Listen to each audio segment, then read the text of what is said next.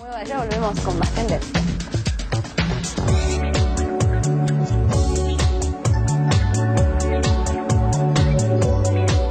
Lo importante para poder combatir la celulitis, para poder luchar contra la celulitis es entender cómo funciona nuestro cuerpo, nuestro tejido graso, porque en realidad funciona diferente durante el día, durante la noche. Tiene su propio ritmo, tiene su ritmo biológico. Durante el día necesitamos más energía, con lo cual nuestro tejido graso tiende a liberar más las grasas. En cambio, durante la noche, con el reposo, tienden a almacenarla, fabricarla, retener más líquido. También, cuanto mayor cantidad de grasa se le puede ofrecer a este tejido, mayor es la capacidad que tiene para absorberlas, para almacenarlas. Todo esto es importante entenderlo, así podemos ver qué tipo de alimentación nos conviene, en qué momento, cuál es el tipo y el momento de la actividad física que pasa con los masajes o con los tratamientos locales.